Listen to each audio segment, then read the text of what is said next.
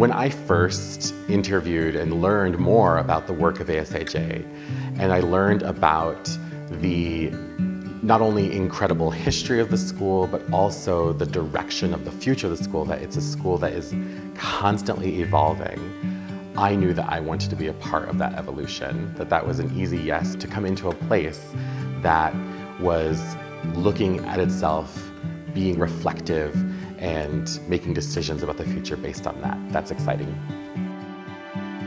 I was already so interested in deep learning before I had any conversation with anyone at ASIJ. So you can imagine how excited I am to be at a school that embraces all the ideas of deep learning and is trying to actually make them all come alive in the day-to-day -day teaching and learning that we do with the students.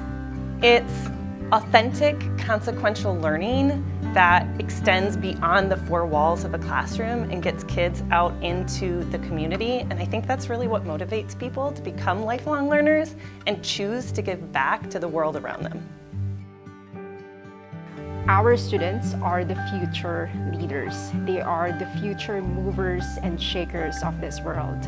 We want them to make informed decisions. We want them to be able to face those problems in a way that uh, show they have empathy and compassion, not just for themselves and those who are close to them, but for the greater world around them.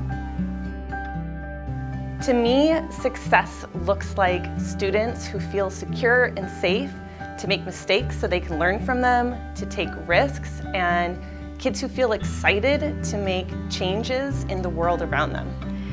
Success looks like an empowered student. Success in a deep learning context, it's really about the success of the whole person, not just academics, but also their character, their integrity, their commitment to justice, and all of those other aspects that make someone a fully realized person.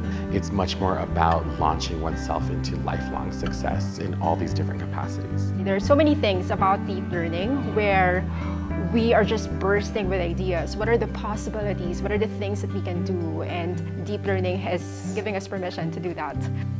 My name is Maka Black Elk, and I am one of the high school deep learning seminar teachers. My name is Ali Trainer, and I am starting as a third grade teacher. My name is Dee Lee, and I will be a grade 8 humanities teacher here at ASIJ.